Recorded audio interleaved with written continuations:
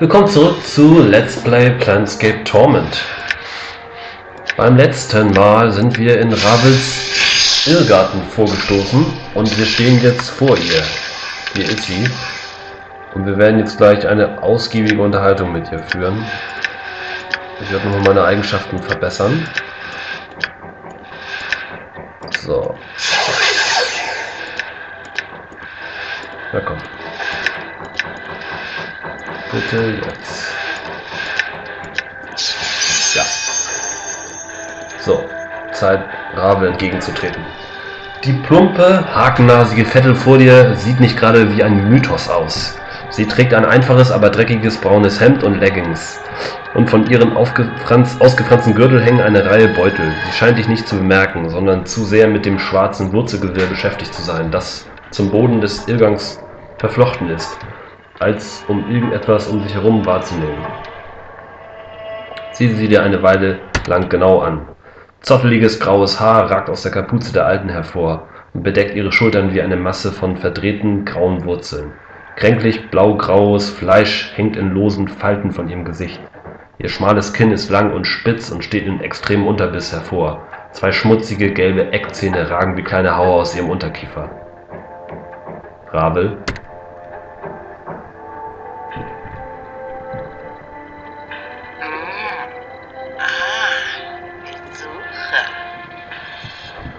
Stimme der Alten ist belegt und kratzig, als ob sie, sie sich ihren Weg durch Schichten von Staub bahnen muss. Ihre Augen sind von matter, blutroter Farbe und werden von schwarzen Adern durchzogen, die wie die Zweige eines Baumes wirken. Als sie dich anblickt, beschleicht dich ein seltsames Gefühl, als ob sich Schlangen unter deiner Haut winden. Na? Sei gegrüßt, Rabe. Hübscher. Na, mein Hübscher, bist du endlich zurückgekommen? Rabels Gesicht verzieht sich zu einem grotesken Lächeln, das den Blick aus, auf eine Reihe abgesplitterter gelber Reißzähne freigibt. Du warst so lange weg, ich hatte schon befürchtet, du hättest die alte, einsame Ravel vergessen. Wie hätte ich dich vergessen können, Ravel? Ich habe dich vermisst, aber du hast dich an einem Ort versteckt, den ich nicht ohne Schwierigkeiten erreichen konnte. Komm schon, hast du dir meine Anwesenheit nicht gewünscht? Ah, Ravels gelbes Lächeln wird breiter, die Falten ihrer Haut schieben sich zusammen und sie kichert leise. Solch nette Worte. Du kennst schon die Antwort auf deine Frage, mein Schatz. Ich habe die Hinweise fallen lassen wie Kastanien. Sie waren mein Mittel, dich zu meinem Garten zu führen. Ich hätte, hatte befürchtet, dass du es warst, der mich vergessen hat. Ich versichere dir, ich habe nichts dergleichen getan. Ich bin schließlich zu dir zurückgekommen. So, aber was ist zurückgekommen? Sie blinzelt dich mit ihren schwarz geärgerten Augen an und zischt leise. Lass Rabe sehen, wie es dir in diesem Leben ergangen ist. Sie streckt ihre Hand nach dir aus, als wolle sie dich streicheln. Du bemerkst plötzlich, dass sie statt Fingern Klauen hat und dass ihre Fingernägel schmutzig und schrecklich scharf sind. Lass sie dich berühren. Ihre ausgefransten Klauen wandern über deine Haut und du verspürst das gleiche seltsame Kribbelgefühl, das du gespürt hast, als Ravel dich zum ersten Mal angesehen hat. Ihr Blick verdüstert sich leicht und ihre Klauen gleiten sanft über dein Gesicht und verweilen auf deinen Narben. Äh, warte oder streck die Hand aus, um sie zu berühren, ihre Gesichtszüge zu ertasten. Deine Hände berühren Rabels Wange, während ihre Klauen dein, Kleid, dein Gesicht streicheln und instinktiv spiegelst du ihre Berührung wieder, wenn sie mit ihrer Klaue über deine linke Wange streicht. Streichen deine Finger über ihre. Sie schließt die Augen und du tust es ihr gleich. Es ist ein seltsam vertrautes Gefühl. Schließ die Augen und gib dich der Erinnerung hin. Als du die Erinnerung aus die Augen öffnest, hast du das Gefühl, als sei alle Farbe aus den Bäumen und dem Irrgang gewichen. Alles ist gleichförmig, staubig, totengrau. Rabels Augen sind immer noch geschlossen, aber als du sie ansiehst, öffnen sie sich langsam und Rabel lächelt ein trauriges, graues Lächeln.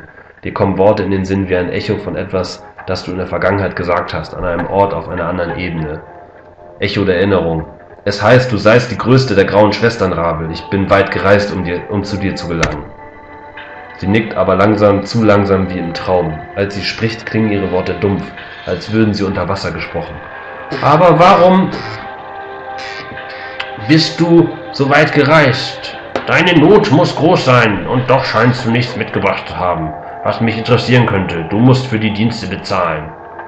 Echo der Erinnerung. Meine Not ist groß. Meine Währung ist dies. Eine Herausforderung. Vielleicht eine unmögliche Herausforderung. Eine, die wohl auch deine Fähigkeiten übersteigen wird. Du wiederholst die Worte wie ein Echo und du spürst die Manipulation, die subtile Andeutung, die Ravel herausfordern soll.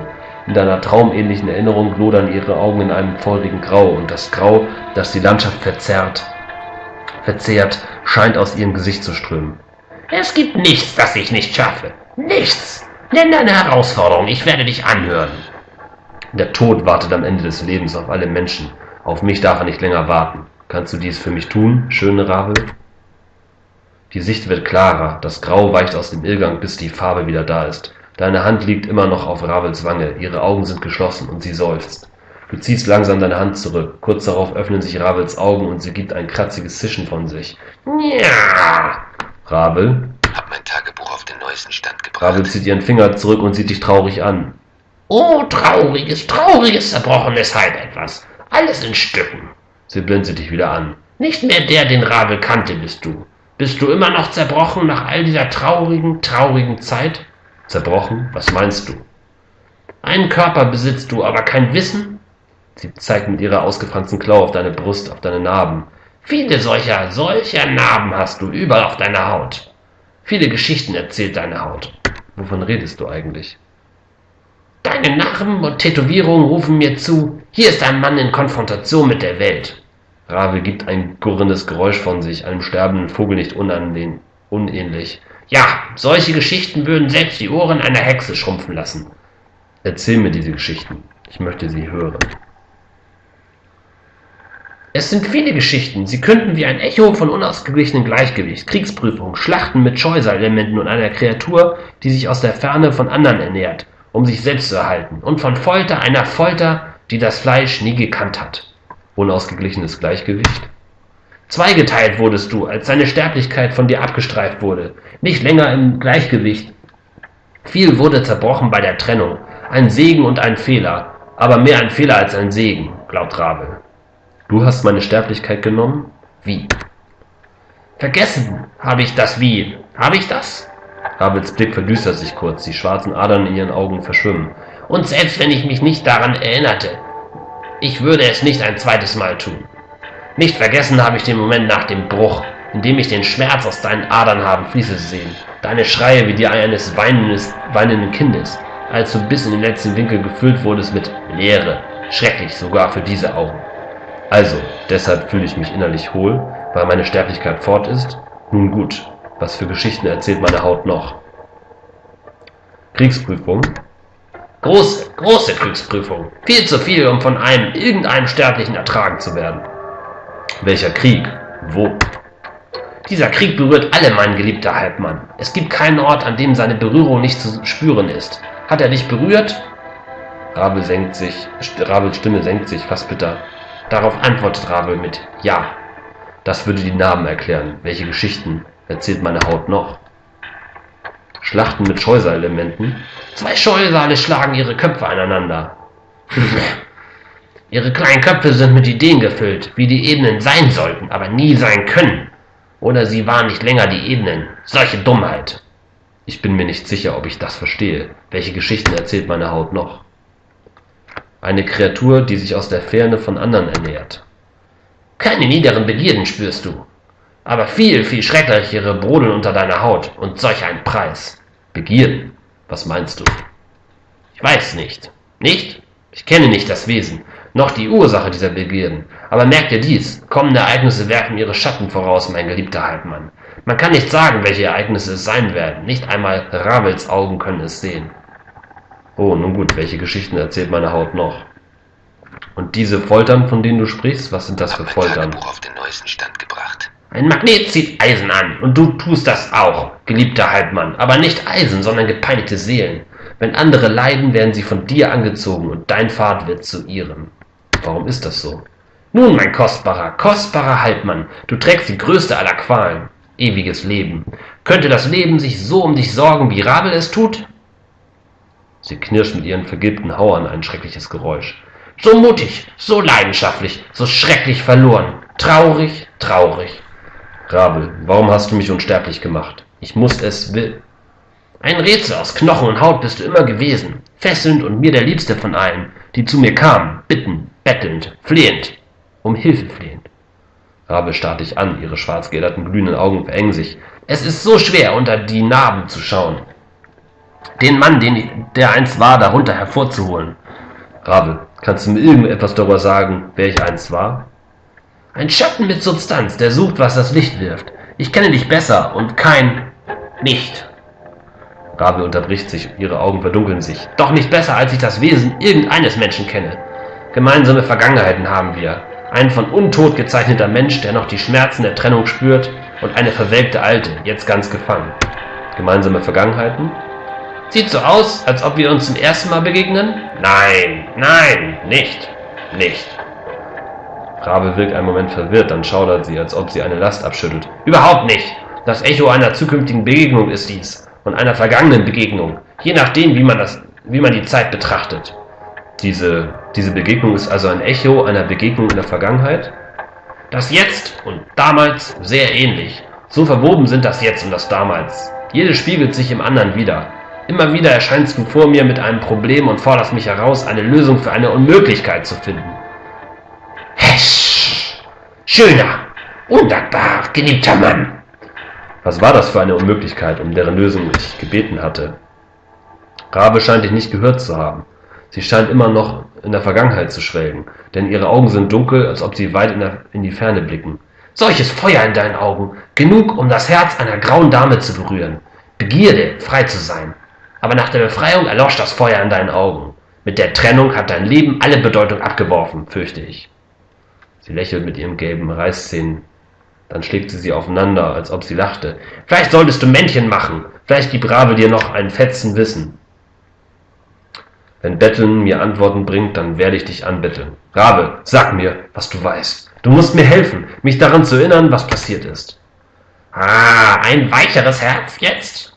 Rabels schwarz geäderte Augen glänzen und ihre Mundwinkel ziehen sich nach oben, wie eine Schlange. Hat das Leben dich weich gemacht? Ach, aber man kann hoffen. Rabe, ich habe viele Fragen, die ich dir stellen möchte.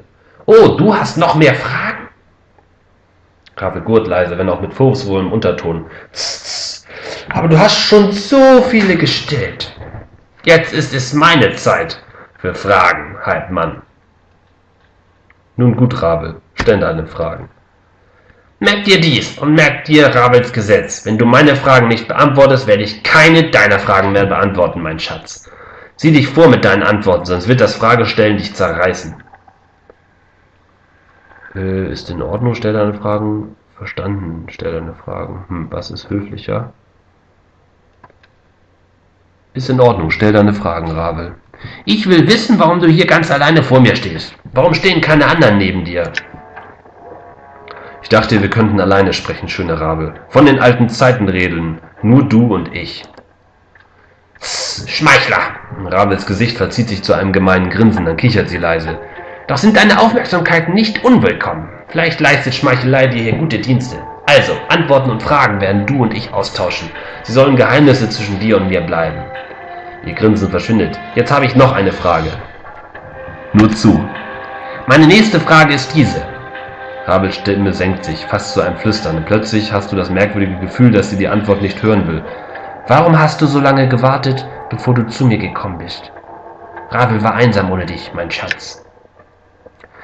Der Weg zu diesem Ort ist schwierig, schöner Ravel. Man hat sich bemüht sicherzustellen, dass du wenig Gesellschaft hast. Und viele Prüfungen musste ich bestehen, um vor dir zu stehen.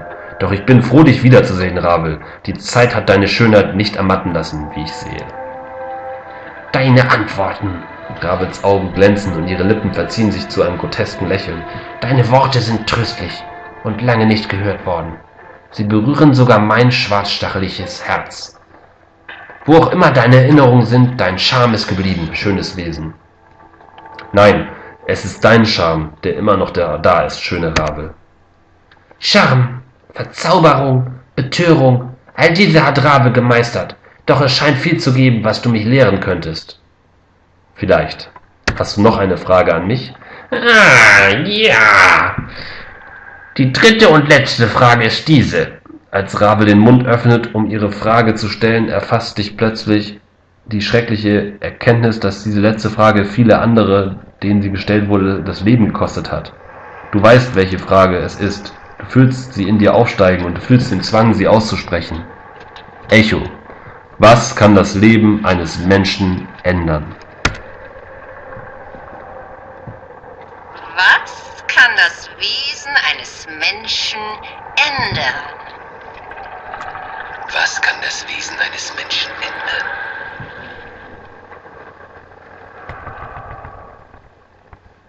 Oh.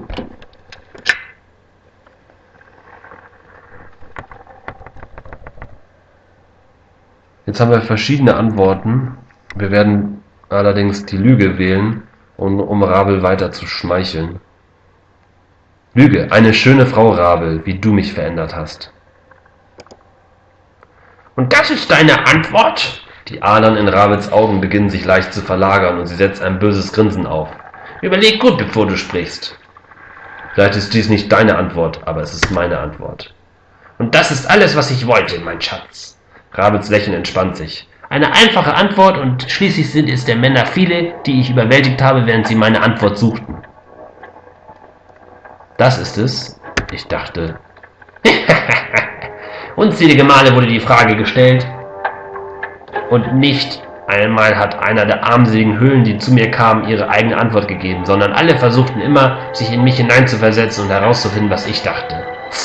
Daran liegt keine Wahrheit. Ich glaube dir nicht.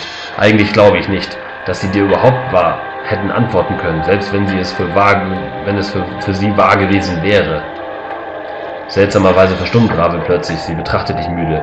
Dir war nie eine andere Antwort als meine wichtig, niemals, oder? Trotzdem hast du die Frage gestellt in dem Wissen, dass sie, egal was sie antworten, durch deine Hand sterben mein würden. Tagebuch auf den neuesten Stand gebracht. Natürlich war deine Antwort die einzige, die ich hören wollte. Denn du warst der einzige Grund, dass ich die Frage gestellt habe. Hast du gedacht, sie bedeuteten mir etwas? Hast du gedacht, dass sie mir auch nur einen Bruchteil dessen bedeuten, was du mir bedeutest, mein Schatz? Antworte mir darauf. Ich hab's satt, deine Fragen zu beantworten, Ravel. Jetzt wirst du meine Fragen anhören. Natürlich, Fragen über Fragen über Fragen. Warum hast du mich unsterblich gemacht, Ravel? Du wolltest es so, Keimling. Und du hast es so nett darum gebeten. Wie konnte Rabel so, so zu jemand wie dir Nein sagen? Unsterblichkeit war deine Lösung und deine Herausforderung für mich. Meine Lösung? Warum? Ich weiß es nicht, Keimling. Die Zeit hat auch an meiner Erinnerung genagt. So scheint es. Wenn du dich erinnerst, sag es mir. Ich bin selbst neugierig. Ich muss etwas wichtig, es muss etwas Wichtiges gewesen sein. Liegt es nicht im Wesen des Menschen, ewig leben zu wollen? Rabel, das ist sehr wichtig. Hast du eine Ahnung, worum ich dich gebeten habe, warum ich dich gebeten habe, es zu tun? Der Tod war etwas, dem du aus dem Weg gehen musstest. Das ist leicht gesagt, aber leicht zu tun ist es nicht. Unsterblichkeit mit all ihren Nachteilen war die beste Lösung, auf die dieses welke Gehirn kommen konnte. Ja? Blei lässt sich nicht leicht in Gold verwandeln, aber es ist möglich, wenn auch unklug. Rabel, wenn mein Blut Wasser entziehen kann, dann kann man einem Sterblichen auch seine Sterblichkeit entziehen. So, sie wird abgestreift wie eine klebrige Schicht. Du hast sie also abgezogen? Die Kluft zwischen Mensch und Nicht-Mensch ist groß. Du hast sie überwunden. Ich habe dir die Mittel dazu gegeben, aber du bist alleine hinübergelangt. Böse Rabel, Sterbliche sind zu unvollkommen, um ewig zu werden. Immer noch zerbrechen sie. Sie müssen treten und schreiend in eine ungesunde neue Form gebracht werden. Ungesund? Das Ritual hatte also Fehler? Abkürzungen müssen genommen werden und sie können die Geformten zerbrechen. Denn nicht immer bricht die Form, sondern die Masse, die hineingegossen wurde. Zwinge etwas in eine Form, die es nicht haben sollte, und es zerbricht. Ich dachte, das Material wäre stärker, aber du bist zerbrochen. Aber ich bin unsterblich. Dann muss es doch ein Erfolg gewesen sein. Du hast lange überlebt, unsterblich gemachter, aber du bist dem Untier zum Opfer gefallen, das das Leben ist. Sie faltet die Hände zu einer Schale, dann dreht sie sie um und so dass sie ein Dach bilden. Der Körper ist nur eine Hülle für die Seele, aber jetzt lebt niemand in deiner Hülle. Was ist schiefgelaufen bei dem Ritual? Rätselhafter, zerbrochener, schöner, sterblicher Mann. Das Ritual war nicht keine, keine fertige Sache. Rabel Stirn legt sich in Falten, ihre Klauen ziehen an einzelner Strähne ihres Haares. Das Ritual hat dir gegeben, was du wolltest, aber Aber das Ritual hat dir gegeben, was du wolltest, aber hoch war der Preis. Das Werfen von Schatten, die stillen, grausamen Tode des Geistes und die schmerzhafte Leere. Diese Dinge waren gefährlich für solch ein zerbrechliches Gefäß, egal wie stark der sterbliche Mann ist. Sie und das Ritual bereue ich. Werfen von Schatten? Undankbare Schatten, aber undankbar ohne Grund. Die Schatten, sie hassen dich, Namenloser, weil sie von dir gezeugt wurden, deine Kinder sind. Einmal im Stich gelassen, werden sie nie verzeihen. Sie werden alles tun, um den Vater zu zerstören. So sind Kinder. Wie erzeuge ich diese Schatten?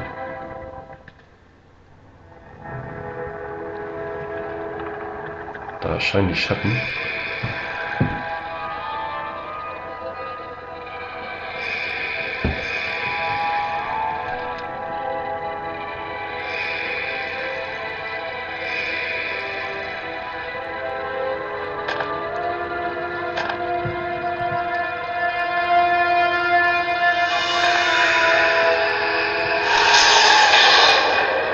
Wirst Schatten auf die Existenz, Namenloser. Mit jedem Wort wächst ein neuer Schatten auf den Feldern deines Fleisches. Sie wandern eine Zeit lang umher, aber sie kehren immer zurück, um ihren Vater zu ermorden.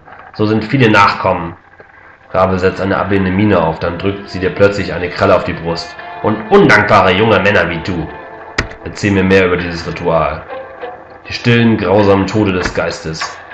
Tausende Tode und du erholst dich von jedem. Nicht so dein Geist. Dein Geist ist viel empfindlicher. Seine Narben sind tief und heilen nicht. Das Gehirn ist in eine harte Knochenschale gehüllt, die schwer zu durchdringen ist. Sie bietet jedoch keinen Schutz gegen das, was von innen an ihm nagt. Erzähl mir mehr über dieses Ritual. Schmerzhafte Leere. Du hast ein Loch, wo, wo deine Sterblichkeit einst im Inneren deiner Hülle lag. Sie ballt die Hand zur Faust und schüttelt sie. Rassel, rassel, macht der hohle Mann ein Babyspielzeug mit nichts als einem kleinen Stein, der in deinem Innern rasselt und klappert. Trotz dieser Probleme scheint das Ritual funktioniert Hab zu haben. Tagebuch auf den neuesten Stand Du gebracht. zweifelst an Rabel? Natürlich habe ich erfüllt, was versprochen war. Nicht lange nachdem der Zauber beendet war, habe ich dich getötet, um zu sehen, ob er gewirkt hat. Du hast dich mit aller Kraft gewehrt, aber ich habe dich gut festgehalten und dir bei deinem ersten von vielen Toten zugesehen. Rabe klappert mit den Zähnen. Dann wurde ich auf die Mängel aufmerksam. Welche Fehler?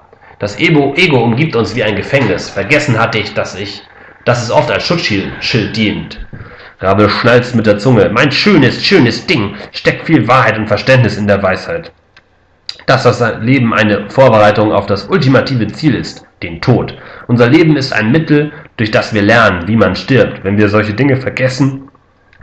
Du hast also bemerkt, dass ich meine Erinnerung ver verliere, wenn ich sterbe. Ja, leider. Ohne die Sterblichkeit, die solche Erinnerungen festhält, ist der Körper nur eine Hülle. Du hast mir also meine Sterblichkeit genommen. Ist sie noch unversehrt?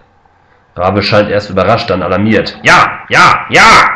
Hab keine Angst, dass deine Sterblichkeit zerbrochen ist. Wenn du hier bist, hier bist und mit mir redest, muss deine Sterblichkeit unversehrt sein. So etwas kann man nicht, kann nicht zerstört werden, solange du existierst. Du bist ein Anker deiner sterblichen Seele.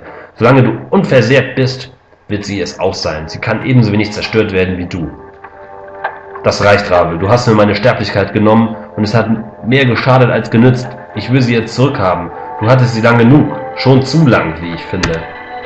Ah, du stellst eine Forderung? Rabels schwarz geäderte Augen verengen sich und nehmen einen beunruhigenden, wissenden Ausdruck an. Sie bleckt ihre gelben Reißzähne. Nein, nein, nein. Das wird Rabel, werde ich nicht tun. Was zerstört ist, kann nicht wiederhergestellt werden. Äh, jetzt können wir ihr drohen, sie umzubringen? Nee, warum nicht? Rabel kann sie dir nicht geben, mein Schatz, denn Rabel hat nichts zu geben. Ich habe dich oder deine Sterblichkeit nie besessen. Obwohl ich euch beide als Andenken an eine egoistische Zuneigung in meinem Garten behalten wollte, die Muster deines Fleisches nachziehen. Aber Rabel konnte, nicht, konnte sich nicht durchringen, so etwas zu tun. Wenn du sie nicht hast, wo ist meine Sterblichkeit? Ich weiß es nicht, mein süßes Ding. Aber wenn ich du wäre, würde ich sie mir schnell, schnell zurückholen. Nicht auszudenken, welche schreckliche Dinge derjenige dir antun könnte, der deine Sterblichkeit als Geisel hält. Rabe lässt ihre Klauen gegeneinander schlagen. Es wäre, als würde man jemandes süße, saftige Seele schlagen.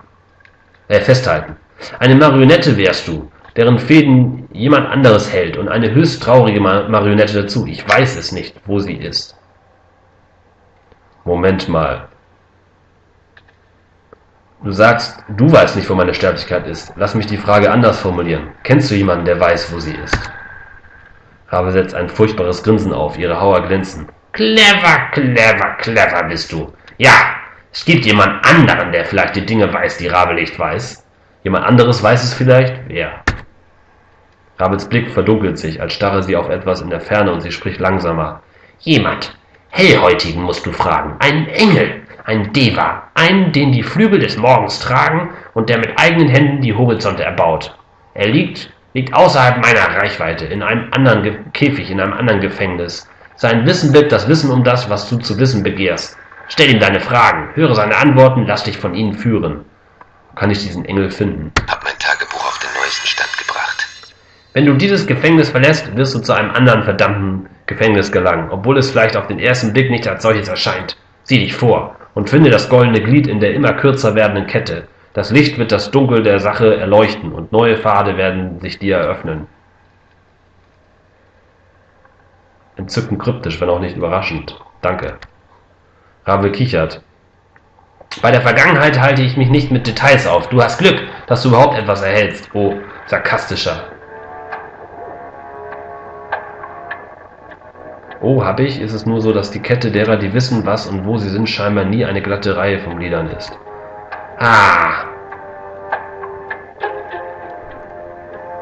Äh, und deshalb musst du jedes Glied der Kette vor Schaden bewahren, denn wenn sie jetzt schon nicht mehr vollständig intakt sind, stell dir vor, wie die Kette sein wird, wenn mehr Glieder zerbrechen. Zeit und Tod sind nicht mit allen so geduldig wie mit dir. vielleicht. Ich hätte jedenfalls noch andere Fragen an dich, Rabe. Äh, wir wissen das. Ich habe einige Fragen zu dir, Rabe. Rabe, wer bist du? Wo kommst du her? Ich?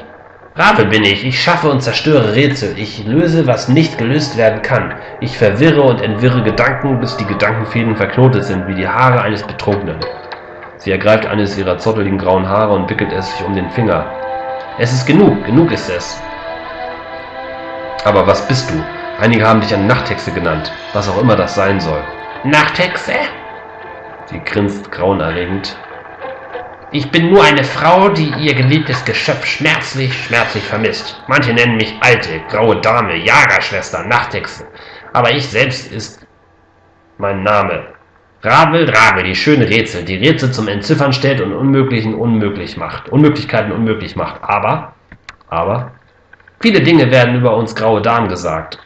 Eine Rasse sind wir Nachthexen, aber ein Individuum, bin ich. Einige nennen uns das Böse von früher, Verfolger schrecklicher Träume, die Freundlichen. Hässliche, abscheuliche Dinge, die in den dunklen Windungen des menschlichen Gehirns zu Hause sind.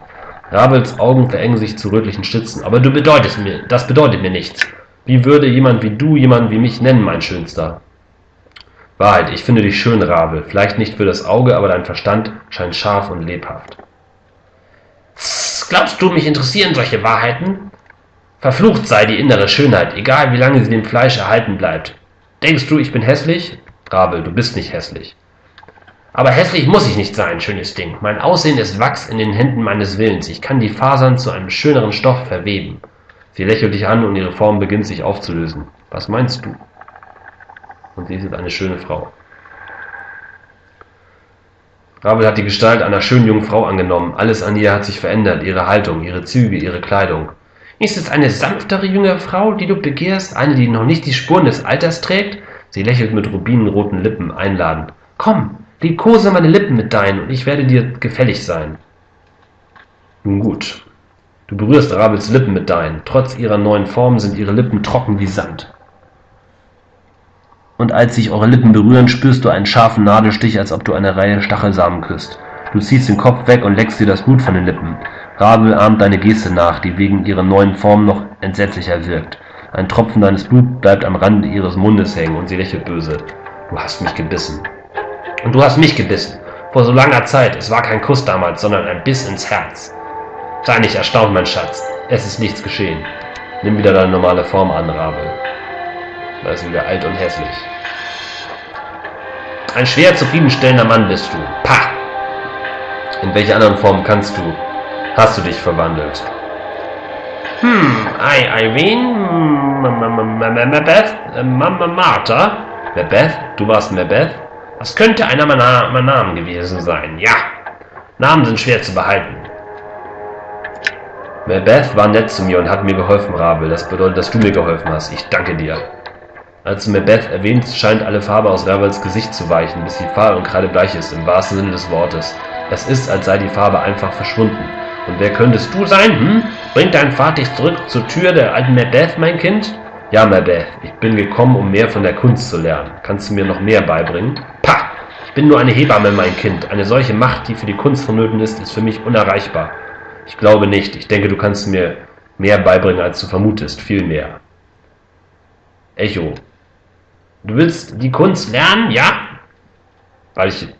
Warum willst du solche Dinge lernen? Weil ich es brauche, um das Rätsel zu lösen, wer ich bin. Nach einem Ra Moment äh, nickt Rabe. Macbeth. Mein Kind, sie wird wahrscheinlich deinen Berg von Fragen nur noch größer machen. Aber wenn du unbedingt wissen willst, dann hör zu. Tagebuch auf den neuesten Stand Hör gebracht. zu. Und unsere Weisheit ist um eins gestiegen. Sie hat dir Schreckliches gesagt, wie die Ebenen darüber, wie die Ebenen funktionieren und dein Bewusstsein hat die Gedanken ausgesperrt. Sie betrachtet, sie beobachtet dich. Welche anderen Formen bist du noch gewesen, Ravel? Du warst Alvin in der Leichenhalle? Auf ihre Weise hat Alvin mir geholfen. Ravel, das bedeutet, dass du mir geholfen hast. Ich danke dir. So, sie nähert sich jetzt mit unseren Händen und wir weichen wie immer nicht von der Stelle und lassen ihre Arbeit tun. den neuesten Stand Und unsere. Trefferpunkte sind gestiegen. Und die, sie war auch Martha. Martha war übergeschnappt, Ravel, aber sie war gütig und hilfsbereit. Wenn du sie warst, dann willst du mir nichts Böses. Ich danke dir. Und sie nähert sich mit ihrer Krallen wieder. Und wir weichen nicht von der Stelle. Und wir lassen sie ihre Arbeit tun. Und sie gräbt mal wieder unsere Eingeweide aus und hält sie wie eine Trophäe in die Höhe. Kann ich die bitte zurückhaben?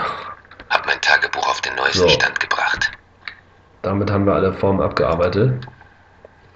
Was bist du? da? Wo kommst du her? Welche anderen Formen hast Was ist das für ein Ort?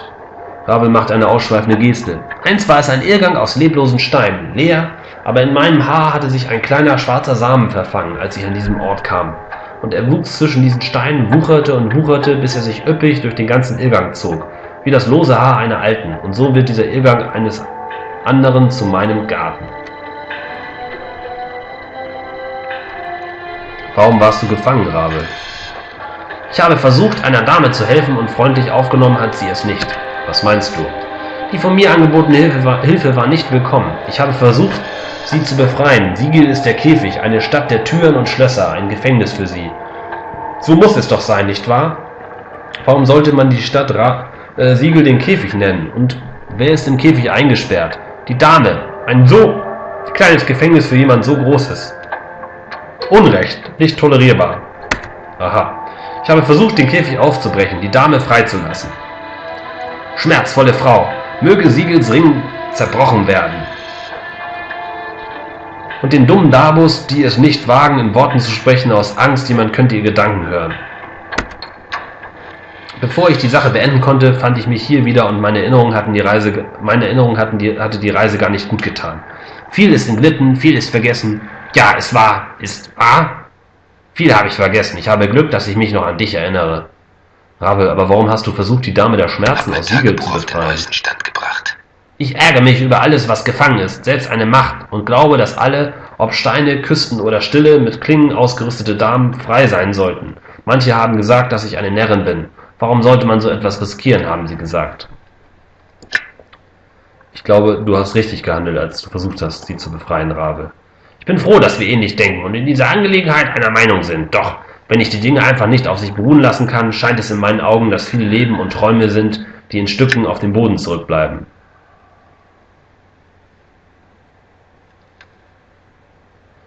Du hast es, du, du hast also einen Fehler gemacht, Rabe. Wenigstens hast du versucht, wozu anderen der Mut gefehlt hätte. Ich sehe nichts Falsches an deiner Absicht, sondern nur Stärke. Solch honigsüße Worte, wie ich dich vermisst habe, mein kostbarer Halbmann. Du singst so süß. Du könntest Steine erweichen. Ähm, aber wir haben noch, ich muss das nochmal machen.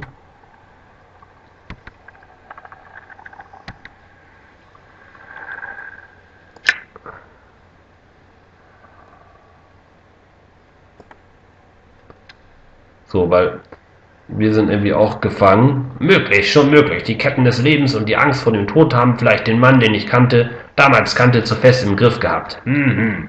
Sie nestelt an ihrem zottigen, zolligen grauen Strähnen und wickelt sich ein Haar um den Finger. Ketten und Käfige mag Rabel nicht. Ich war also auch irgendwie in einem Käfig gefangen oder in Ketten. Es klingt, als ob sich deine Erinnerung regt, Rabe. Ja. Vielleicht hast du in einer Falle gesessen, aber ich, es kann kein normaler Käfig, der dich festhielt. Hast du irgendeine Ahnung, was mich festgehalten hat? Ich habe es vergessen. Vielleicht ein Versprechen? Nein, nein. Sie schließt sich, ihre Finger schließen sich fester um das graue Haar und zu deinem Erstaunen hörst du ein Knacken, wie das eines abbrechenden Zweiges, als Rabe es sich ausreißt. Ein wenig schwarzes Blut sickert aus ihrem Schädel und sie zischt zornig. Ravel, ist alles in Ordnung mit dir? Und sie gibt uns eine Haarlocke. Ich weiß nichts und werde kein Wissen teilen. Nimm dies und lass die Vergangenheit ruhen, wo sie liegt, Halbmann. Nun gut, Rabe. Der Le Legende nach sollst du eine mächtige Zauberin sein, Rabe. Kannst du mir etwas von der Kunst beibringen? Sie runzelt missbilligend die Stirn. Kennt Rabe die Kunst? Hat dein Verstand es deiner Sterblichkeit gleichgetan und dich verlassen? Ich habe mehr von der Kunst vergessen als du. Jemals wissen wirst. Kannst du mir etwas von der Kunst beibringen? Sie verengt ihre Augen äh, und mustert dich. Vielleicht könnte ich von jemandem wie dir überredet werden, obwohl niemandem sonst eine solche Chance, geschweige denn die Gunst zuteil werden würde. Bist du ein Anfänger in der Kunst oder stehe ich vor einem erprobten und versierten, erfahrenen Meister? Ich bin ein Meister der Künste, schöne Rabe. Schmeichler, und doch wärmen mich deine Worte. Viel habe ich gelernt, während ich diesen Garten gepflegt habe, Talisman und Zauber gewonnen aus den Stacheln. Reimen, Konsonanten hin und her bewegen, Konstanten und Bewegungen, die der Dornbüsche zu Hilfe rufen. Hört zu, die Ranken werden davon erzählen. Jetzt weiß ich nicht, was, wo hier der Unterschied ist. Als du die Augen schließt und zuhörst, durchläuft dich ein starkes Zittern, als ob Dutzende von stacheligen Schlangen sich durch dein Fleisch graben. Gerade als du glaubst, dass du die Schmerzen nicht mehr aushalten kannst, beginnst du plötzlich instinktiv zu summen, die gleiche Melodie, die Ra auch Rabel gesummt hat, und die Schmerzen klingen fern. Summ weiter. Solche Macht! Es berührt alle, die es hören. Du bist mächtig, mein Schatz. So mächtig. Eines Tages könnten sich sogar die Ebenen deinem Willen beugen.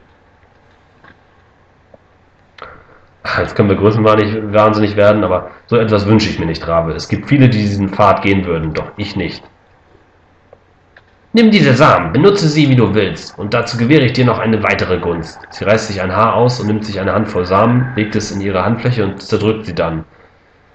Eine dünne Spur schwärzliches Blut läuft aus ihrer Hand, aber als sie sie wieder öffnet, siehst du keine Wunde, nur eine Halskette aus schwarzen Stacheln, die um eine Strähne von Ravels grauem Haar gewunden ist. Nimm dies, es ist von mir, und es wird dir nützlich sein. Hab mein Tagebuch Nimm den Samen und den. Stacheltalisman. So. Ich denke, das war's. Danke für die Information, die du mir gegeben hast, Ravel. Ich muss jetzt gehen. Halt! Die wichtigste Frage musst du noch stellen, mein Schatz. Ist sie dir schon eingefallen? Ja, ich muss wissen, wie man diesen Ort verlässt. Weißt du die Antwort auf diese Frage? Ich kenne die Verzweigung dieses Ortes, die Biegungen und Kurven und Gräben. Zwar gibt es hier keine Blätter, aber man kann sich doch von ihnen verabschieden, wenn sie es wünschen. Du weißt also, wie man herauskommt? Lege deine Hände um dich wie Zweige, lasse deine Brust umfassen wie ein Käfig. Gehe vom Rand des Irrgangs in die Dunkelheit und in einen anderen Käfig wird dein Körper gehen. Ein leichter Abschied. Aber es gibt keine Rückkehr, wenn dieser letzte Schritt getan ist. Also hör zu und nimm, was du brauchst, bevor du diesen Schritt tust. Über welchen Rand des Irrgangs herausgehe? Welchen? Eine Frage an die Hexe. Du hast gewusst, wie man herauskommt, die ganze Zeit? Dann, warum gehst du nicht? Warum bleiben, wenn man gehen kann, ist deine Frage an mich? Ich stelle die Frage auf den Kopf und schicke sie ganz schnell zurück zu dir. Die Antwort liegt nicht im Bleiben oder Gehen, sondern in den Ursachen und Gründen, mein kostbarer Halbmann. Willst du nicht gehen? Es ist ein Wunsch, ein einziger Wunsch, aber kein jetziger Wunsch und mehr und mehr ein Nichtwunsch. Du hast mir einen großen Dienst erwiesen, schöne Ravel. Danke, dass du meine Bitte angehört hast. Angehört und dein Wissen mit mir geteilt hast. Sie setzt ein schiefes Lächeln auf und kichert dann leise. Ah, ich bin es, die dir dankt, mein Schatz. Lange ist es her, dass solch süße Schmeicheleien in diesem Irrgang gebracht worden. Ich möchte dir eine Gunst gewähren, mein Singvogel. Eine Gunst? Ich würde mit Freude jedes Geschenk annehmen, das du machen willst. Dann hör zu. Schließ die Augen und ich werde dich einen Blick auf die Welt Wesen des Multiversums we- werfen lassen. Schließ die Augen und hör zu. Und wir haben nochmal saftig Erfahrung eingestrichen. Du schließt die Augen und spürst dabei einen scharfen, stechenden Schmerz in deinem rechten Auge. Äh, dein Auge, eines deiner Augen öffnet sich und du siehst Ravel vor dir. Ihre blutroten Augen leuchten vor Entzücken. Eine ihrer Krallen ist ausgestreckt und trägt an der Spitze dein Blut. und einen Augapfel, deinen Augapfel. Was hast du getan? Die Gunst habe ich dir gewährt, Singvogel. Eine Verzerrung der Wahrnehmung, ein Blick auf die Zweige des Verstands, ein Blick auf die Wurzeln von Ravels Wissen habe ich dir gewährt. Einen Teil von mir. Äh, sie übergibt uns jetzt diesen Augapfel und st- steckt ihn in die leere Augenhöhle. Und wir wollen uns jetzt lieber verabschieden. Als du dich verabschieden willst, spürst du plötzlich ein Kribbeln in deinem Schädel. Du bemerkst, dass in Ravels schwarz geäderten Augen jetzt ein seltsames, gieriges Feuer flackert. Du wirst mich nicht gehen lassen, nicht wahr, Ravel? Eine aufmerksame Frage. Die Frage lautet, willst du mich verlassen, Halbmann? Schöne Ravel, du hast mir geholfen, als ich vor so langer Zeit zu dir kam, und du hast es jetzt abermals getan. Ich werde nicht vergessen, was du getan hast, aber ich muss gehen. Ich muss mehr über mich erfahren. In der Luft. Äh, Was weißt du von Wissen, Halbmann? Wisse dies. Wisse, dass du bis in alle Ewigkeit hier in meinem dornigen Garten bleiben, niemals hinauskommen und mich lieben wirst, wie du es solltest, wie du es versprochen hast. Fürchte, ich, dass, ich wäre keine gute Gesellschaft, Ravel. Ich kann mich auf, ich kann auf keinen Fall bleiben. Es tut mir leid, aber du musst mich durchlassen. Ich werde dich nicht gehen lassen. Ich habe die Macht, dich hier festzuhalten. Ravel, ich will nicht mit dir kämpfen. Tu es nicht. Lass mich durch und ich werde zurückkommen und dich besuchen. Du musst nicht allein an diesem Ort bleiben. Zurückkehren? Zurückkehren, wie du vor so langer Zeit behauptet hast? Nein, nein. Du wirst Ravel kein zweites Mal anlügen. Kein Jahrhundert mehr werde ich auf dich warten. Ravel, beruhige dich, das ist hast nicht nötig. deinen Platz vergessen, Halbmensch. Übe dich in Demut. Ravel, tu das nicht. Ich fühle mich stärker. So, und jetzt beginnt ein Duell.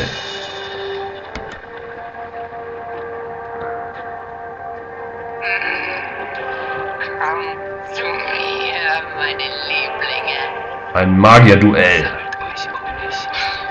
Dann machen wir, machen wir im nächsten Video weiter.